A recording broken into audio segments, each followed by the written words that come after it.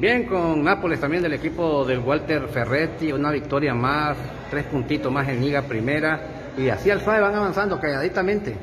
Sí, digo, lo vuelvo a repetir, eh, no, no conforme eh, con el accionar, creo que, creo que este plantel está para otra, otro tipo de cosas, para otro tipo de funcionamiento, hay que trabajar, hay que ser exigentes con nosotros mismos, autocríticos, y bueno, si queremos pelear por cosas importantes y estar en los primeros lugares, tenemos que penetrar el, acelerador, sí, tres puntos que, que, nos van ayudando a subir en la tabla, pero no conformes, hay que seguir trabajando si queremos estar peleando los primeros lugares. Lo importante es que ahora el equipo está ganando, en la temporada pasada era un desastre, que empataban, les ganaban, no hacían puntos, los eliminaron, y, pero este equipo es diferente, Nápoles ahora. Sí, claro, eh, como tú dices, ¿no? Eh, feliz, sí, feliz, contento por, por los tres puntos pero sabiendo que, tenemos que trabajar más fuerte, apretar, como, como lo repito, para, para pelear eh, eh, los primeros planos. Como digo, si este equipo quiere estar eh, peleando el campeonato, tenemos que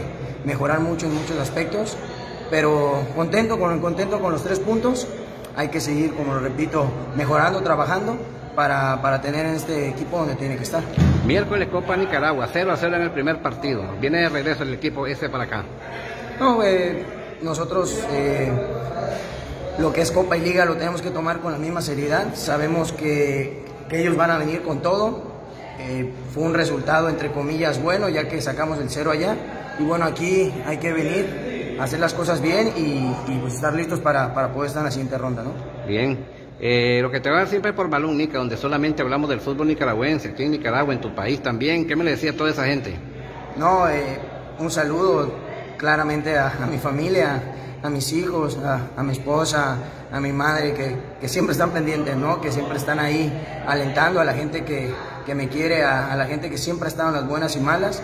Y bueno, a la gente de aquí, a la gente nica que, es del Chongo, decirle que, nos apoye, que al final de cuentas nos debemos a ellos, los necesitamos, no solamente cuando venga este lío con los equipos grandes o llamados grandes, sino lo necesitamos siempre porque al final de cuentas ellos son el 12 y, y lo necesitamos con nosotros. Muchas gracias, hoy te éxito siempre. Gracias igual.